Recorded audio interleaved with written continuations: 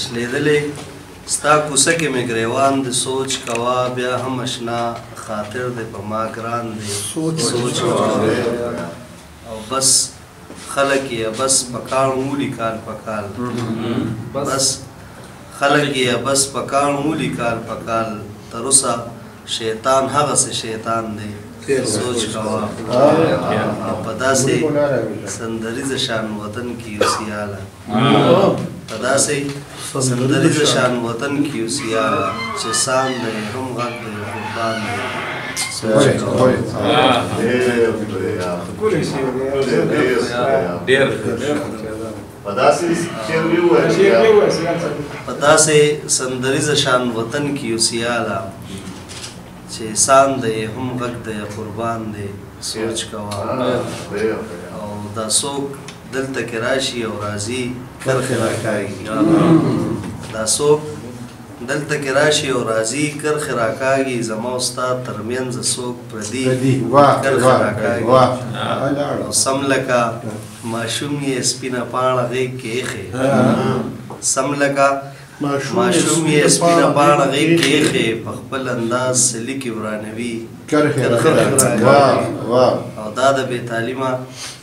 معاشرې د ژوند کمال وي. دا شعر دی دا شعر دی. دا د بې تعلیمه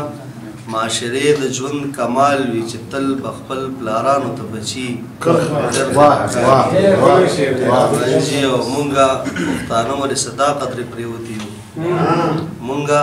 پښتانه ولې څه دا قدرې پرېوتي یو چې وخت راله د ځانه په تندي کرښه او څوک بلها روپۍ